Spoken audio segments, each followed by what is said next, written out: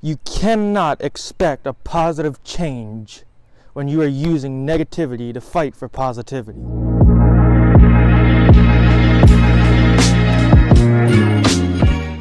Long time no see. Hope this isn't too loud. I was thinking about what to make for a video today, and um, there's a lot of stuff going on, going through my mind on what to make. There was another COVID video, but I got thinking y'all already saw that, so.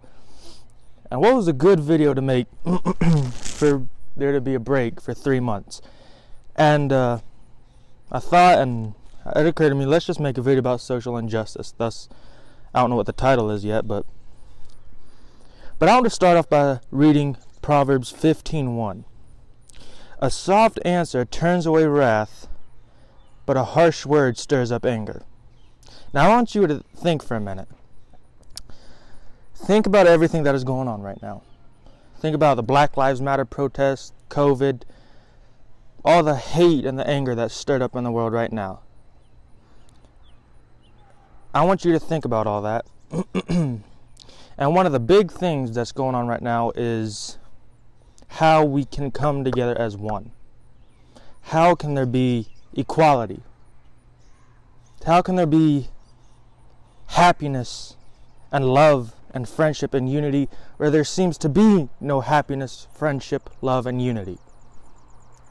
In Matthew 7 1 through 2, it says, Do not judge, or you too will be judged. For in the same way you judge others, you will be judged. And with the measure you use, it will be measured to you. But the Bible also says in Mark 12:31, "Love your neighbor as yourselves." That is probably the most that is probably the Bible verse in my opinion that needs to be here today, heard today. Love your neighbor as ourself. Now, by default when somebody thinks of neighbor, you think of the one your literal neighbor, the one who lives just a few doors down or whatever. But in the Bible, neighbor actually means the one in need. And right about now, that's pretty much everyone. Everyone is in need of a couple things that we can all get if we're determined love, happiness, friendship, and unity. You cannot expect a positive change when you are using negativity to fight for positivity. And in my opinion, I may be only 15, I may be young, I may be ignorant, I may be stupid. But that time for social injustice, racial injustice, and gender inju- injustice needs to stop, and it needs to stop now. And one of the ways we can stop that is by loving one another, treating each other with respect, and loving each other as ourselves, and not judging each other. If we don't want to be judged, then we shouldn't judge other people. If we judge somebody unfairly, then I personally believe we're going to be judged unfairly. If you judge somebody fairly, then I personally believe you'll be judged fairly. And if you're like me in this time of trial, tribulation, and hatred, where there seems to be no hatred, or where there seems to be hatred, and no love, no friendship, no unity, just not clicking together. You wonder, is there a living, breathing, living, I already said that, alive, living, breathing, fully functional, developed human living being out there that is alive right now, this second?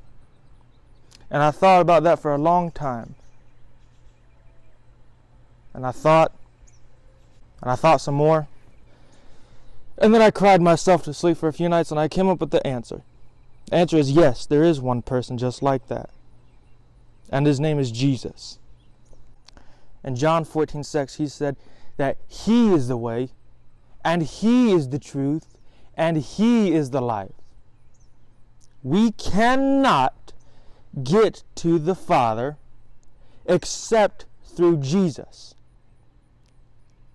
I'm I was told a saying one time, and it's uh, you can step on however many people you want going up, but you are to meet those same people coming down. Hate doesn't get to heaven. Jealousy doesn't get you to heaven. Treating somebody like they're nothing doesn't get you to heaven. Discriminating somebody for no reason does not get you to heaven for any reason.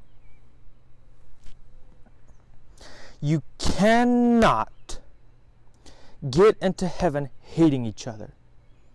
We cannot get into heaven by killing each other. Just the other day, during the Black Lives Matter protest, there was a uh, there was something going on at a Target, I think, Target or some kind of store, and there was some older lady in a wheelchair trying to stop protesters from getting too rowdy, too crazy, and a few people started fighting, and she couldn't walk, so she was in a wheelchair, so she just tried to, you know, shout and all that. She was trying to prevent the community from causing harm. And you know what happened? Somebody stabbed her and killed her. God sees each and every one of us as equals. Sure, He may look at our skin color, but when that day of judgment comes, and it is going to come for all of us, He's not going to look at our skin color. He's not going to look at our nationality. He's not going to look at our criminal background. He's not going to look at our political party. He's not going to look at our eye color. That's not how he's going to judge us. He's going to judge us by what is in our hearts and our minds. And if you were to die this second, I know this is getting really deep, but if you were to die this second, the second this video ends, would Jesus Christ be in your heart? If this video was to end, would you have faith that if Jesus Christ was to call his followers home, you'd be going? I'm 15 and I know one thing. I know that if Jesus Christ was to come back right now, I know I'm going. If he was to come back at 10 in the morning, I'm going. If he comes back at 2 or 3 o'clock in the morning while I'm sleeping, I'm going. If he comes back while I'm asleep, I might be there a good 2 to 3 hours before I realize what happened, but I'm going. Can you say the same? Can you say that if Jesus Christ was to come back right now, I'm going? With faith and certainty? Right now, whenever you're watching this, right now, you have the same opportunity to be accepted by Jesus Christ. And that is the whole reason he died on the cross, really. Not only to forgive your sins, but to say that he loves you and you are His. When He said, It is finished, you know what that meant? The separation from us and God. And you, people, I, I hear people all the time say, well, when Jesus was on the cross, He was thinking a lot of things. But from what I've learned in my faithful journey, when Jesus Christ was on that cross, and he was taking our sins, and he was taking our guilt, and he was hanging on that cross, bleeding in front of all the world to see. You were on his mind. You. You were the one on his mind. This, that is this exact reason why he died on the cross. A lot of people think, oh, it was a political issue. It was a nobody if he, they had not crucified him, it would have been a huge riot in the area. That may be. But see, it was organized. He was supposed to die on the cross. That's the whole reason why he came to earth, is so he could take your sins and my sins, and we could be forgiven of our sins and get to heaven and be free from our sinful life and follow him. And when you come to Jesus with your sin and guilt and sorrow, he doesn't hate you. Like so many people, if you break something, if you break something and you go to a friend and you say, hey, friend, I broke this, chances are they're probably going to get angry about it. Well, it depends on really what it was.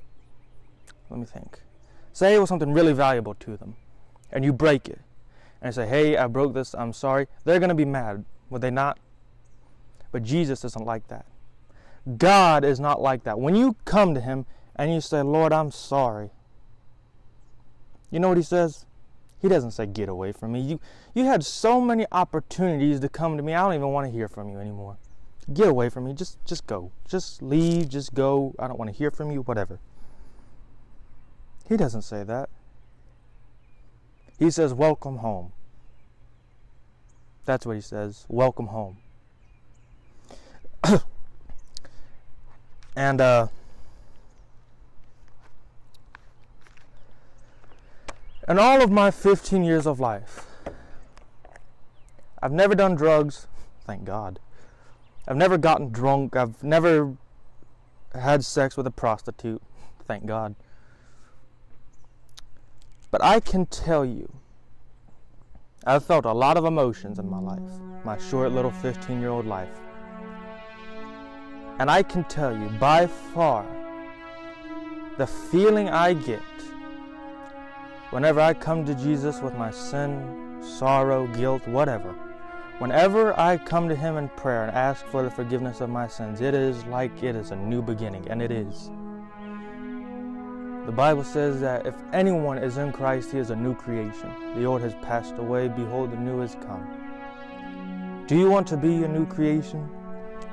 A creation that is covered in righteousness? A creation that has no sins in them? And even if they do have sins, it is forgiven? Then I want you to say this prayer right now. Just say it. Just say it and watch what happens. This is your moment. Your parents can't make this decision for you. If you have a boyfriend, girlfriend, husband, wife, they can't even make this decision for you either. Regardless of how much you love them and how much they love you, you have got to make this decision yourself. I pray that you'll make this decision for Christ. And until the next one, may God be with you. You're going to need Him.